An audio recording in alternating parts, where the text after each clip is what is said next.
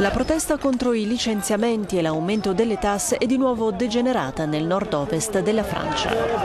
Gruppi di manifestanti si sono scontrati con la polizia a Quimper in Bretagna nel corso di un corteo al quale hanno partecipato circa 15.000 lavoratori dell'agroalimentare. Al centro della disputa c'è soprattutto la cosiddetta ecotassa imposta sui trasporti su gomma che il governo ha sospeso martedì in seguito alle violente manifestazioni delle scorse settimane.